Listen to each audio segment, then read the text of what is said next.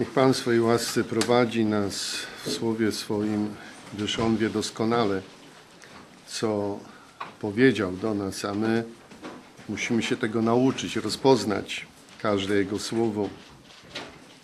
I to dzięki Niemu, gdyż sam Pan powiedział, że pośle ducha swego, aby nas prowadził w prawdę słów Jego, abyśmy mogli poznać prawdę. Potrzebujemy tego, który by nas w tą prawdę wprowadził. I zawdzięczamy to tylko i wyłącznie Bogu, jeżeli poznajemy prawdę. Żaden z nas, tak jak tu słyszeliśmy, własnym rozumem nie byłby w stanie tego pojąć i ogarnąć, co Bóg uczynił nam, posyłając nam swojego Syna. Wiele domysłów, wiele pomysłów, wiele kombinacji, a wspaniałość tej chwały byłaby i tak zakryta. Dzięki Bogu nie jest zakryta. Ewangelia Łukasza, 22 rozdział. 22 rozdział Ewangelii Łukasza i mamy od 54 wiersza. Pojmawszy go tedy, zawiedli go i wprowadzili do pałacu arcykapłana. Piotr zaś szedł za nim z daleka. A gdy rozpalili ognisko na środku podwórza i usiedli wokoło, usiadł i Piotr wśród nich. Gdy zaś pewna służąca zobaczyła go siedzącego w blasku ognia, przyjrzawszy mu się, rzekła, i ten był z nim. On zaś zaparł się, mówiąc, niewiasto, nie znam go. A niedługo potem ktoś inny, zobaczywszy go, rzekł, i ty jesteś z nich. A Piotr rzekł, człowieku, nie jestem. A po upływie mniej więcej jednej godziny ktoś inny zapewniał, mówiąc, doprawdy i ten był z nim, jest przecież Galilejczykiem. Piotr zaś odrzekł, człowieku, nie wiem, co mówisz. I w tej chwili, gdy on jeszcze mówił, zapiął kur. A Pan, obróciwszy się, spojrzał na Piotra i przypomniał sobie Piotr słowo Pana, jak do niego rzekł, zanim kur dziś zapieje, trzykroć się mnie zaprzesz. I wyszedłszy na zewnątrz, gorzko zapłakał. Widzicie, jeden tylko mógł pójść tam. Nikt inny nie byłby w stanie iść tą drogą, którą szedł Jezus Chrystus. Nawet najbardziej gorliwy i najbardziej zdeterminowany z jego uczniów zawiódł, bo nie był gotowy do tego, by iść tą drogą. Bezbożni upadną, poprzewracają się, nie dadzą rady. Jeden Chrystus jedynie mógł iść, doskonały, czysty Boży Syn. Piotr nie rozumiał jeszcze tego wtedy i mówił: Panie, za Tobą pójdę i do więzienia, i na śmierć.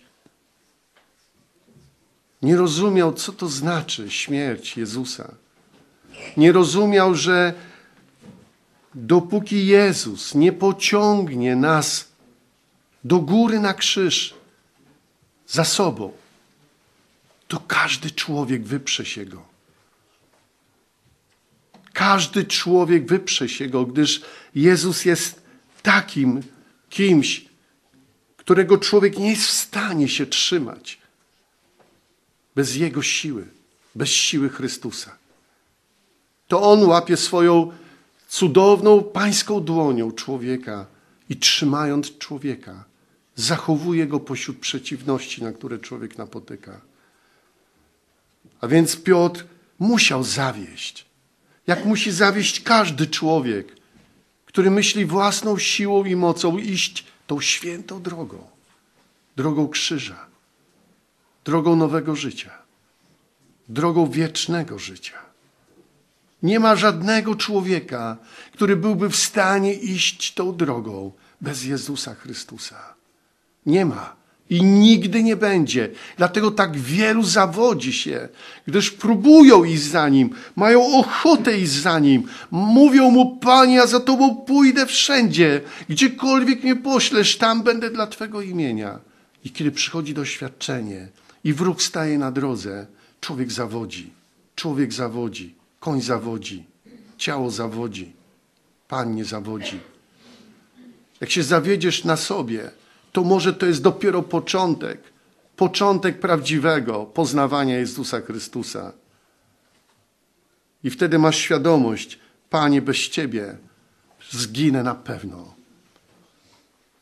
Jezus, kiedy spojrzał na Piotra, to moglibyśmy powiedzieć w ten sposób: na pewno nie było tam wrogości w spojrzeniu Jezusa, tam była miłość, ale było Piotrze, poczekaj jeszcze trochę.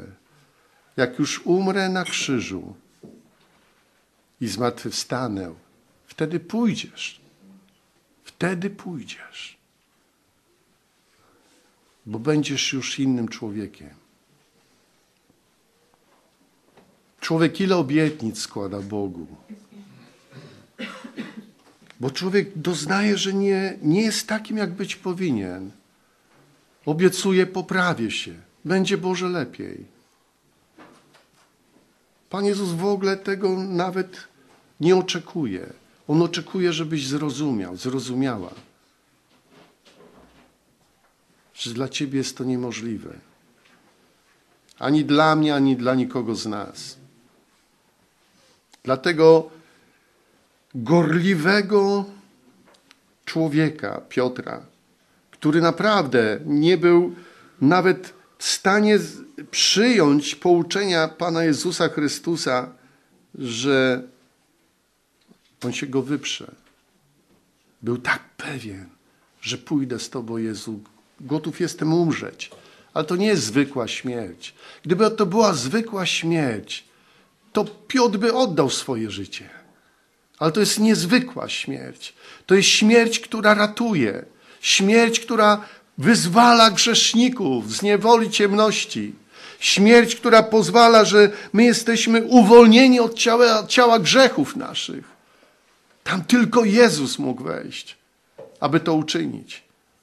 Nie mógł nikt z nim tam wejść. Tylko on sam, jeden sam Chrystus Jezus. I on wcale nie narzekał, że wszyscy go opuścili. On wiedział, że wszyscy go muszą opuścić. Uderzysz pasterza i wszyscy się rozproszą. On ich za to nie potępił. Nikt nie był w stanie być z nim w tej bitwie. Nikt. Tylko on sam mógł pójść tam. Choćby najbardziej gorliwy człowiek chciał z nim tam wedrzeć się na ten krzyż, to uciekłby stamtąd z wielkim strachem i przerażeniem. Dlatego Jezus mówił, gdy ja będę wywyższony, wszystkich za sobą pociągnę. Więc chwal swojego Zbawiciela, który cię pociągnął za sobą, tam gdzie nigdy byś nie mógł pójść. Nie mogłabyś pójść tam na krzyż. On cię pociągnął swoją miłością do ciebie, bo wiedział, że gdyby cię zostawił, to sam krzyż nic by ci nie pomógł, bo ty sam na niego nie wejdziesz. Ani ja, ani ty. Tylko Jezus w swojej wielkiej miłości mógł sięgnąć po mnie i wziąć mnie z sobą tam, na ten krzyż, z którego ja bym uciekł, umknąłbym, przeraziłbym się tej chwały, przeraziłbym się tej odpowiedzialności, żeby w ten sposób żyć. Uciekłbym, ty też, wszyscy ucieklibyśmy. Tylko Jego miłość jest w stanie nas utrzymać tam.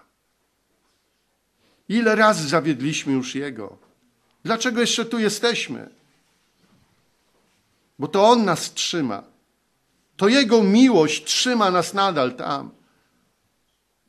To Jego zrozumienie, że my bez Niego szybko pozostawimy krzyż.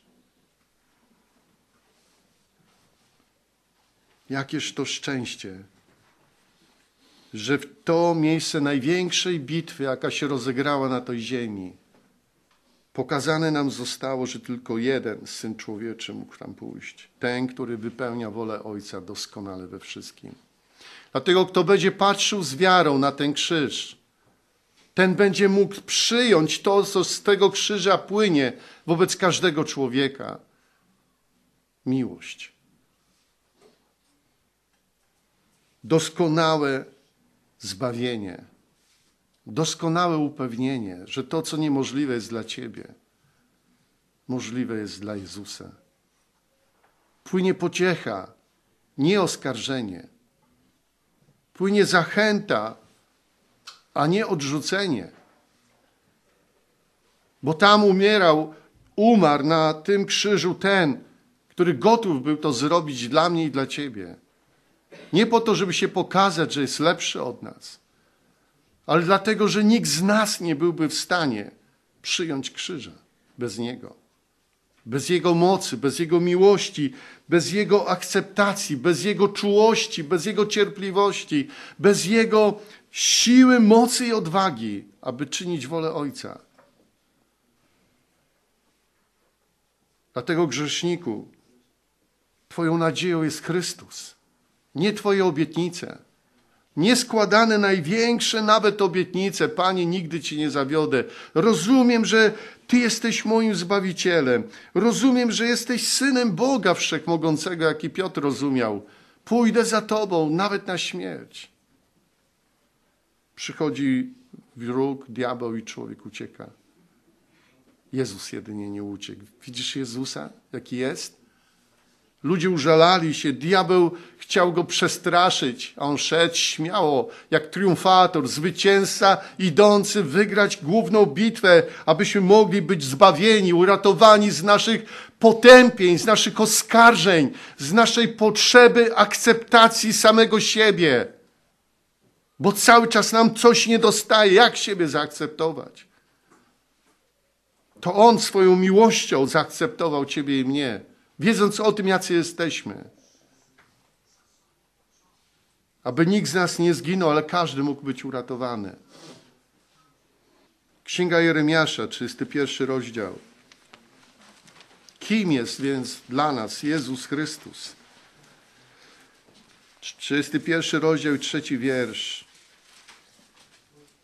Z daleka ukazał mu się Pan, miłością wieczną umiłowałem Cię Dlatego tak długo okazywałem Ci łaskę. Umiłował nas do końca. Tu jest powiedziane o narodzie Izraelu, a Jezus umiłował nas wszystkich do końca. Ciebie i mnie. Rozumiecie, że dopóki człowiek nie zobaczy krzyża Jezusa, który wie, kim jesteś, kim ja jestem, wie o nas wszystko, a jednakże poszedł tam za mnie i za ciebie człowiek będzie próbować się bronić, będzie próbować otaczać się jakimiś wydarzeniami, żeby nie wyglądać tak źle. Ale kiedy już wiesz, że On wie o tobie wszystko, wie jakim złym człowiekiem byłeś, czy byłaś, czy jesteś, i poszedł tam, bo cię umiłował do końca, już nie musisz tej swojej aureoli wytwarzać, żeby inni nie myśleli, że jesteś najgorszy czy najgorsza. Po prostu jesteś zbawionym, zbawioną i dziękujesz Mu za zbawienie. I wielbisz Zbawiciela. Już Go teraz wielbisz, należąc do Niego. Nie tracisz czasu, by próbować Mu się przypodobywać, lecz wykorzystujesz czas, by On Cię napełniał tym, kim On sam jest. Zbawiał Cię po prostu. Ratował Cię, żebyś mógł swobodnie rozmawiać, cieszyć się Nim. Nie lękając się, że ktoś powie, a Ty jeszcze taki niedojrzały jesteś, taka niedojrzała? Tak, jeszcze teraz takim nie widzisz, ale przyjdź za tydzień, zobaczysz innego człowieka. Za tydzień przyjdź znowu, zobaczysz znowuż innego, bo Jezus zbawił mnie i On mnie kształtuje. On pracuje nade mną. Chwała Bogu. Wierzymy w Jezusa, nie w swoje możliwości. Piotr wierzył w swoje i zawiódł. Każdy, który wierzy w swoje możliwości, musi zawieść. I to jest łaska, gdy człowiek zobaczy swoje zawiedzenie. Kiedy aż będzie płakać, Boże, zawiodłem Cię całkowicie na całej linii. Ale Jezus przecież nie odrzucił Piotra, dlatego że go zawiódł. Bo Piotr nie mógł zawieść Jezusa, który wiedział doskonale, że Piotr nie jest w stanie tam pójść i przejść przez to. Dla człowieka to niemożliwe, powiedział Pan Jezus, ale dla Boga wszystko jest możliwe. A więc tym y, spojrzeniu Jezusa na Piotra nie było gniewu. Tam była miłość. Piotrze, jeszcze trochę i będziesz mógł iść z tym krzyżem, zwyciężając świat. Piotrze, jeszcze trochę. Jakie to szczęście, gdy patrzy na ciebie Zbawiciel, który cię miłuje do końca i w jego wzroku czytasz Nie bój się, jestem z Tobą. Ty zawiodłeś, ja Cię nie zawiodę. Wiem, kim jesteś. Chociaż Ty uciekniesz, ja Cię znajdę i pójdziesz za mną, chwała Bogu. Pójdziesz za mną. Psalm 71. Ja Cię znajdę. Jakie to potężne. Choćbyś się schował, nie wiadomo gdzie, Pan mówi, ja Cię znajdę, ja Cię znajdę i Ci pomogę. Wiersz 15. Usta moje opowiadać będą sprawiedliwość Twoją po wszystkie dni zbawienie Twoje. Nie znam bowiem Jego miary. Sławić będę to, czego jeszcze nie znam w całej pełni, ale poznam, bo Zbawiciel chce każdego z nas prowadzić w kosztowność swego zbawienia, abyśmy mogli poznać i krzyż, i zmartwychwstanie, i wieczne życie i społeczność, i radość bycia z Bogiem w jedności. Zbawiciel chce nas prowadzić w pełne zbawienie. I dlatego, chociaż nie znam, ale mam święte przeczucie i świadomość, że to jest coś wspaniałego, coś doskonale czystego, bo taki jest nasz Bóg, który przysłał nam Syna, abyśmy mogli poznać coś, co jest najwspanialsze dla każdego z nas, abyśmy mogli poznać miłość naszego niebiańskiego Ojca w Jezusie Chrystusie nam okazaną. Widzimy, że gdy Pan Jezus spojrzał na Piotra, Piotr wtedy sobie przypomniał słowa Pana Jezusa. Kiedy w doświadczeniu człowiek myśli, ja dam radę, zapomina, co mówi Jezus. I gdy zawodzi, i diabeł gotów byłby jak lew pożreć tego człowieka. Jezus patrzy i człowiek sobie przypomina, co powiedział Jezus, że tak się stać musi. Gorzko zapłakał, ponieważ bardziej myślał, Panie, Ty wszystko wiesz. To, czego ja nie rozumiem, Ty rozumiesz, Ty wiesz o mnie wszystko gdzie mi się wydaje, że jestem gotów dla Ciebie wszystko zrobić. Jakaś skromna kobiecina, już powiem, Panie, nie znam Ciebie. Strach, przerażenie, obawa, lęk, przecież to jest cielesne, to jest, takie jest nasze ciało.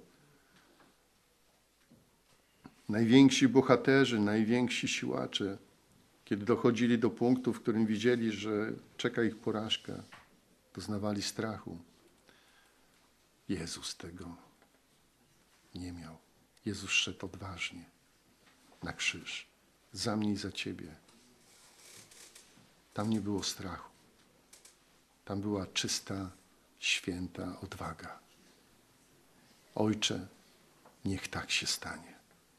Pomyśl o tym. Twoje życie nie musi być y, jakby y, życiem, które łączy się y, z upadaniem, z upadaniem, z upadaniem. Twoje życie może być odpocznieniem w Chrystusie. Kiedy należysz do Niego według tego, co On potrafi z Tobą zrobić, a nie według tego, co Ty potrafisz zrobić dla Niego. Wtedy On uczyni w Tobie to, co Ty naprawdę potrzebujesz, ale nigdy tego nie osiągniesz bez Niego w takim wymiarze, w jakim chce Ojciec. A więc chwal duszo moja Pana. Nieustannie chwal Go, gdyż On potrafi uczynić to, czego ja nie potrafię. Nie oczekuje ode mnie ślubów, nie oczekuje ode mnie potwierdzeń. Oczekuje ode mnie, bym mu ufał i cieszył się nim każdego dnia, moim Zbawicielem, moim Odkupicielem, Jezusem Chrystusem. Moglibyśmy powiedzieć, że diabeł, jak lew ryczący, złapał Piotra, jak tego, który jeszcze jest przyobleczony w swoje grzechy i chciał go pożreć. Ale gdy Jezus spojrzał na Piotra, diabeł uciekł. I Piotr sobie przypomniał, co powiedział Jezus. Diabeł chciałby zasłonić słowa Jezusa, aby zniszczyć człowieka, ale Pan przypomina swoje słowa nam, abyśmy mogli znaleźć w nich posilenie, pocieszenie, przypomnienie. Pamiętam, jak na tego dostojnika Pan Jezus spojrzał z miłością i powiedział: Jednego ci jeszcze brak. Sprzedaj wszystko, rozdaj ubogim, a potem przyjdź do mnie, pójdź za mną i naśladuj mnie. Ale spojrzał z miłością, w jego wzroku była miłość. I znowuż ten człowiek nie był zdolny. Liczysz na siebie, bracie, siostro, liczysz na siebie? Przecież zobacz, co ty robisz, licząc na siebie. Ile ty wprowadzasz niepotrzebnego bałaganu między Kościół, licząc na siebie. Jeżeli chcesz przynosić pokój między świętych, miłość, radość, to licz na Pana i oddaj Mu chwały we wszystkim, aby On okazał się Zbawicielem Twoim, a Ty posłusznym Mu, wiernym Jemu, patrzącym na Niego, z wiarą, z nadzieją i potrzebującym nieustannie pocieszenia, by dalej z Nim pozostać, gdy On Ciebie kształtuje, gdy uwalnia Ciebie od wszystkiego, co by szukało chwały. Pokaże, pokaże im, nie jestem najgorszy, nie jestem najgorsza, pokażę im, zobaczą jeszcze i potem znowu wychodzi, otwierasz usta i zupełnie inne słowa wychodzą niż chcesz i mówisz, chciałem pokazać i co wyszło z tego wszystkiego? No wyszło, co wyszło. Niech Pan pokaże, co potrafi. A gdy będziesz Pana chwalić, to Pan napełni Twoje usta tym, co On chce, jaka to chwała. Nie my, lecz Chrystus. Jakaż to łaska, że my sami nie jesteśmy w stanie wykonać tego, co może wykonać Pan, który został ukrzyżowany z powodu naszych grzechów. To jest bardzo, bardzo ważne dla nas, abyśmy o tym pamiętali. Tej bitwie tylko w Chrystusie. Cała wiedza biblijna nic nie daje, jeśli nie ma Chrystusa. Człowiek zawodzi. Przychodzi doświadczenie i człowiek się zachowuje jak głupiec.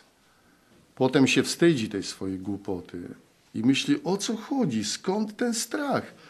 Odwaga jest tylko w Chrystusie. Niech On napełnia nas swoją odwagą, a my będziemy swobodnie opowiadać, kim jest dla nas Jezus. Ale gdy my próbujemy to zrobić dla Niego, bez Niego, wtedy widzimy, ile my mamy w sobie tchórzostwa, ile mamy w sobie ludzkiej trzeźwości,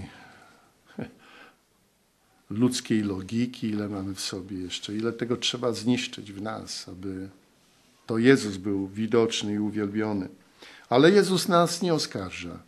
Widzimy, że mimo tych rzeczy, widzimy, że On nie patrzy na nas, jakby chciał nas zniszczyć, bo mógłby zniszczyć swoim wzrokiem. Nie patrzy z gniewem. Mówi, widzisz, mój uczniu, znowuż próbowałeś, czy próbowałaś po swojemu. I co wyszło? No tak, pani, znowu wyszło. Ty masz rację, ty mówisz zawsze prawdę. Bez ciebie mogę tylko zawieść, z tobą nie mogę zawieść, bo z tobą jest to niemożliwe. Kto trwa w Panu, ten jest zwycięzcą. Widzimy później Piotra, który tam y, przybiega do grobu Jezusa, kiedy się dowiaduje, że Jezus zmartwychwstał. Y, widzimy go wśród innych uczniów, którzy z niedowierzaniem patrzą na Pana Jezusa, który przychodzi do nich, aby okazać im, że jest zmartwychwstały. W Ewangelii Jana 20 w 20 rozdziale, 21. Widzimy, jak tam Szymon z innymi poszli na ryby. Od czwartego wiersza, kiedy już było rano, stanął Jezus na brzegu, ale uczniowie nie wiedzieli, że to był Jezus. Rzekł im więc Jezus, dzieci, macie co do zjedzenia? Odpowiedzieli mu, nie. A on im rzekł, zapuśćcie sieć po prawej stronie łodzi, a znajdziecie. Zapuścili więc i nie mogli jej już wyciągnąć z powodu mnóstwa ryb. I znowu znajdujemy Pana Jezusa, który przychodzi nad brzeg, to są Jego uczniowie, apostołowie. Jego, ich zadanie było idźcie i głoście Ewangelię po całej ziemi, opowiadajcie o Królestwie Bożym. Idźcie i mówcie tym ludziom, że jest nadzieja. A oni co? Poszli znowu ryby łowić. Jezus nie przychodzi, nie mówi do nich, no i znowuż. Nie, wie, człowiek zawodzi. Pan nie zawodzi. Pan podjął się zbawić nas ludzi. To jest nasza nadzieja.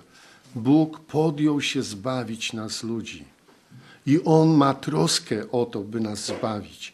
On nas potrafi odnaleźć, gdy my zawiedliśmy i myślimy sobie, że to już nie ma co, że Pan nawet nie będzie chciał nas słuchać. On potrafi nas znaleźć, przyjść i dać nam obfitość, żeby nas pocieszyć, posilić, ponieważ nas kocha i zależy Mu, aby nikt nie zginął, ale każdy był uratowany.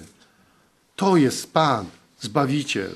To nie jest obraźliwy fircyk jakiś, który postanowił i wszyscy go zawiedli i się obraził na wszystkich.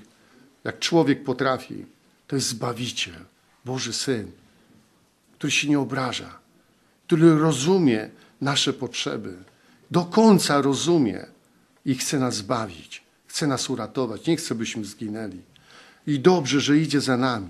I dobrze, że upomina się o nas. I dobrze, że znowuż daje nam obfitość. I myślimy, Panie, my na to nie zasłużyliśmy w ogóle. A Pan mówił, a dlaczego miałbyś na to zasłużyć? Ja Ci to daję z łaski, za darmo. I mówisz, Panie, zaprawdę, tak mi dobrze jest z Tobą. Bo Pan chce, żebyś doświadczał, czy doświadczała, że Panu zależy na Tobie. Bardziej niż komukolwiek na tej ziemi, na kimkolwiek na tej ziemi bo chce Cię zbawić, uratować. Tylko nie, nie, nie odchodź. Choćby Cię diabeł straszył, nie wiem jak mocno, wzywaj Jezusa, pilnuj się Jezusa. I potem Pan Jezus e, rozmawia e, tutaj z Piotrem od 15 wiersza. Gdy więc spożyli śniadanie, rzekł Jezus do Szymona Piotra: Szymonie, synu Jana, miłujesz mnie więcej niż ich? Rzekł mu, tak, panie, ty wiesz, że cię miłuję. Rzeczę mu, paś owieczki moje. Rzeczę mu znowu po raz drugi, Szymonie, synu Jana, miłujesz mnie? Rzeczę mu, tak, panie, ty wiesz, że cię miłuję. Rzekł mu, paś owieczki moje. Rzeczę mu po raz trzeci, Szymonie, synu Jana, miłujesz mnie? Zasmucił się Piotr, że mu po raz trzeci powiedział, miłujesz mnie? I odpowiedział mu, Panie, Ty wszystko wiesz. Ty wiesz, że Cię miłuję. Rzeczy mu Jezus, paś owieczki moje. Zaprawdę, zaprawdę powiadam Ci, gdy byłeś młodszy, sam się przepasywałeś i chodziłeś dokąd chciałeś, lecz gdy się zestarzejesz, wyciągniesz ręce swoje, a kto inny Cię przepasze i poprowadzi dokąd nie chcesz.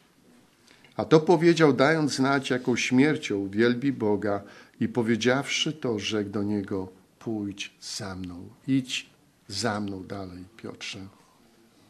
I mamy Piotra, który, e, pamiętamy jak Pan Jezus obrócił się, kiedy kur zapiał i spojrzał na Piotra. E, I to było potrzebne Piotrowi, aby widzieć Pana Jezusa, który patrzy na niego. I znowuż mamy Piotr, obróciwszy się, spojrzawszy do tyłu. Kiedy Jezus mówi, nie patrz do tyłu, patrz na mnie i za mną. Piotr znowuż robi coś nie tak, jak być powinno. Ujrzał idącego za sobą ucznia, którego miłował Jezus, a który przy wieczerzy wsparł się o piersi Jezusa i zapytał, Panie, któż jest ten, co Cię wyda? A Piotr widząc go rzekł do Jezusa, Panie, a co z tym? Znowuż coś frapuje człowieka, coś zajmuje jego myślenie. Rzeczy mu Jezus, a gdybym zechciał, aby ten pozostał, aż przyjdę, co ci do tego? Ty chodź za mną. Nie patrz, co Pan zrobi z drugim. Patrz, co Pan chce z Tobą zrobić, bracie i siostro. Ciesz się z tego, co dla Ciebie jest przygotowane w Królestwie Bożym. I dziękuj Bogu nieustannie za to, że Pan wie o tym doskonale. Jakie jest Twoje miejsce? Jaki ojciec, taki syn powołują w tym ciele Chrystusowym do, do służb, do tych działań, które są potrzebne w Kościele. Pan Jezus wstawiał się za Piotrem, pamiętamy. Mówi Piotrze, lecz ja wstawiałem się za Tobą, gdy przyjdzie to doświadczenie na Ciebie, aby, abyś był zachowany. Tak samo dzisiaj Pan Jezus stawia się za mną i za Tobą. I dokładnie mówi to samo. Abyśmy przeszli przez ten dzień i byli zachowani. Mimo różnych wydarzeń, na które dzisiaj napotkamy, On chce, byśmy byli zbawieni dzisiaj. Dzisiaj byli szczęśliwi z powodu Niego. Dzisiaj wybrali dobro, odrzucili zło. Dzięki Niemu. Nie dzięki swojej sile ani mocy, ale dzięki Jezusowi Chrystusowi. Abyśmy z Nim byli złączeni w jedno. On w nas, a my w Nim. Abyśmy byli spojeni doskonale. My w Nim ukrzyżowani, my w Nim zmartwychwstali, nowe życie prowadzili. Abyśmy odpoczęli od wszystkich dzieł swoich. Abyśmy się radowali w Panu zawsze. On chce, aby było to widoczne, że On przyszedł zbawić nas ludzi, aby inni ludzie mogli pragnąć Zbawiciela. Nie jakiegoś lepszego życia, nie jakiegoś życia mądrzejszego, ale życia dzięki Jezusowi Chrystusowi, aby następni nadzieję pokładali w Panu. To jest dla nas bardzo ważne. Pamiętamy, jak Dawid miał być powołany na króla i, i Samuel tak patrzył po, po, po tych braciach Dawida. E, I wtedy Bóg powiedział Samuelu, ja nie patrzę na to, jak człowiek wygląda, ale na, na serce człowieka patrzę. Co jest w sercu człowieka? Wiecie, w sercu Piotra była wiara, że Jezus jest Synem Bożym. I chociaż zewnętrznie Piotr zawiódł, ale Pan widział w jego sercu pragnienie, które jedynie Zbawiciel mógł zaspokoić. Pan wie, co jest w tobie, nawet lepiej niż ty sam, czy ty sama. I On poszedł na krzyż z miłości do ciebie.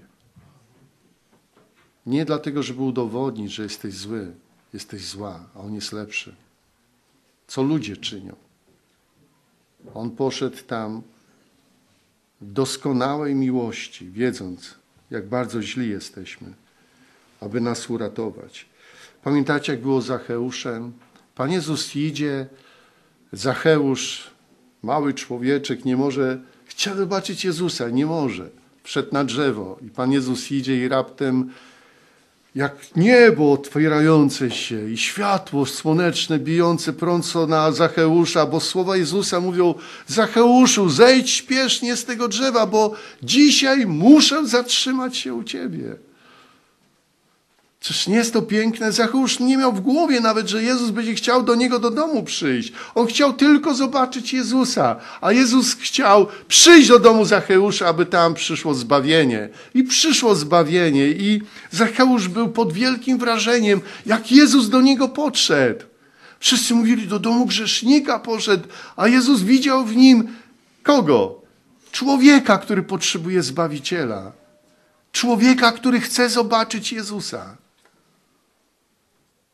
Zawsze dostaniemy więcej niż byśmy chcieli. Bo my nie wiemy, ile byśmy chcieli, a Jezus wie, ile potrzebujemy, aby nowe życie prowadzić. Dlatego dziękujmy Bogu za to nieustannie.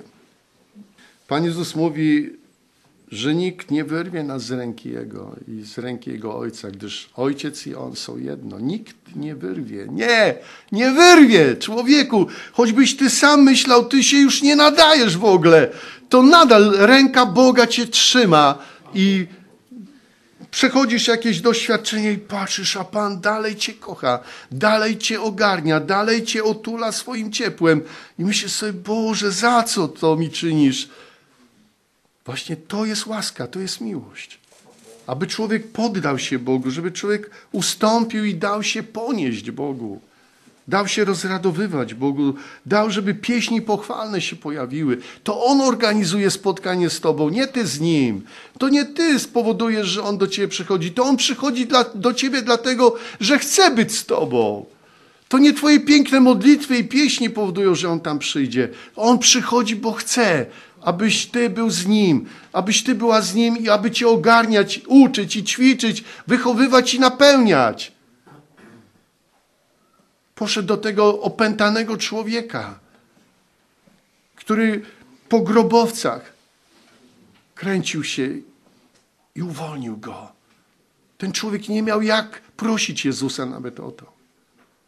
Kochany Jezus, kochajmy Jezusa.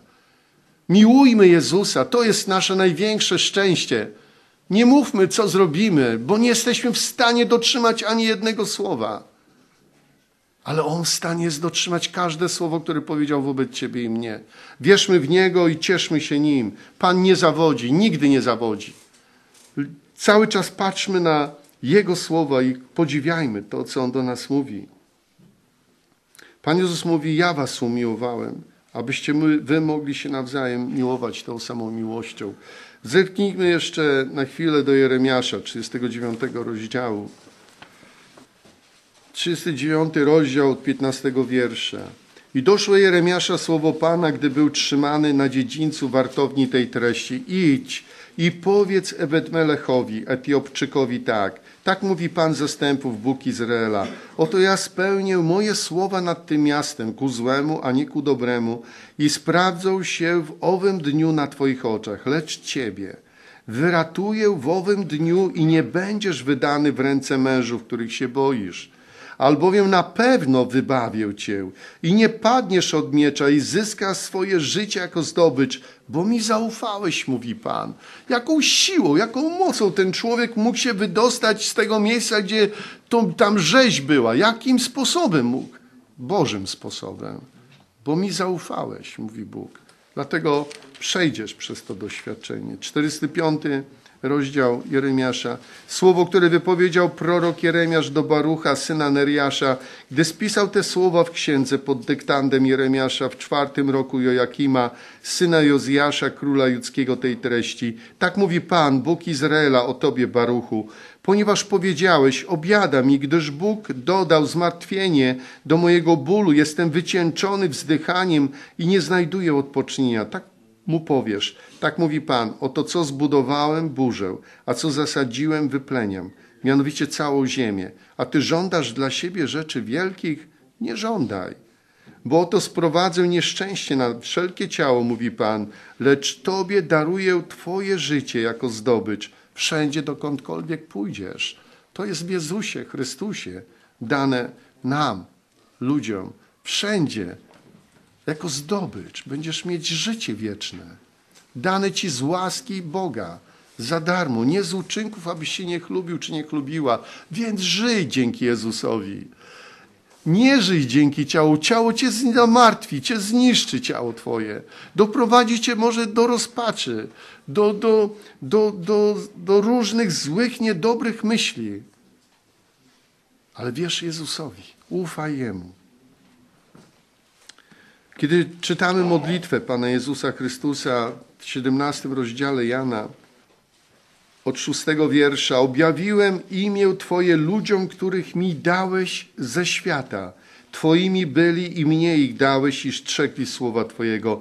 Teraz poznali, że wszystko, co mi dałeś, od Ciebie pochodzi albowiem dałem im słowa, które mi dałeś i oni je przyjęli i prawdziwie poznali, że od Ciebie wyszedłem i uwierzyli, że mnie posłałeś. Ja za nimi proszę, nie za światem proszę, lecz za tymi, których mi dałeś, ponieważ oni są Twoi. I wszystko moje jest Twoje, a Twoje jest moje i uwielbiony jestem w nich. Już nie jestem na świecie, lecz oni są na świecie, a ja do Ciebie idę, Ojcze Święty, zachowaj w imieniu Twoim tych, których mi dałeś, aby byli jedno jak my. Dopóki byłem z nimi na świecie, zachowywałem w imieniu Twoim tych, których mi dałeś i strzegłem, i żaden z nich nie zginął, prócz syna zatracenia, by się wypełniło pismo. Żaden z nich nie zginął. bo Jezus się o to troszczył. Pomyśl sobie, że Jezusowi nie zależy, żebyś ty upadał czy upadała, żebyś przegrywał czy przegrywała, żebyś się zawodził czy zawodziła. Jezusowi nie zależy na tym. To ty czy ja jesteśmy prowokatorami do takich postępowań. To my prowokujemy własne upadki. To my prowokujemy własne potknięcia. To my próbujemy zrobić coś bez Niego dla Niego i potem zawodzimy. On nie chce tego. On chce, byś zawsze patrzył na Niego, patrzyła na Niego i zawsze w Nim miał swoją siłę do działania, swoje wspaniałe nowe życie. Jemu nie zależy. To człowiek musi sam się na sobie przekonać. Jeśli Pan tego nie uczyni, to ja tego nie uczynię. To nie znaczy, że, że nie stanie się to, co powiedział Pan. Musi się to stać. Oblubienica Jego musi być czysta, święta i nieskalana. I On się o to wspaniale troszczy. On wie, jak docierać. Wie, ile czasu przetrzymać Cię, żeby nauczyć Cię uległości. Kiedy otworzyć przed Tobą więcej, a kiedy trzymać Cię, jak na pustyni, dopóki nie ukorzysz się i nie zaczniesz Go chwalić. I dziękować Mu za Jego dobroć i łaskę. Popatrz, że wszystko w Nim masz. Nie to, co wymyślisz sobie. To, co Bóg ustalił dla Ciebie, Jezus to zrobi. Bo jest wierny. I gdy będzie wracał po nas, nie będzie żadnej cząstki w ciele Jego, która by polegała na sobie. Bo wszystkie cząstki będą znały tego, który zaczął i ma moc dokończyć. I gdy wyjdziemy już naprzeciw Pana, to wszyscy będziemy znali jedną pieśń. Pieśń baranka, pieśń zbawienia w Nim. I wszyscy jednym głosem będziemy ją śpiewać. Nie będzie tam żadnej nuty i ja trochę, Panie. Tam będzie na jedną nutę. Wszystko dzięki Jezusowi Chrystusowi, Ojcze. Amen.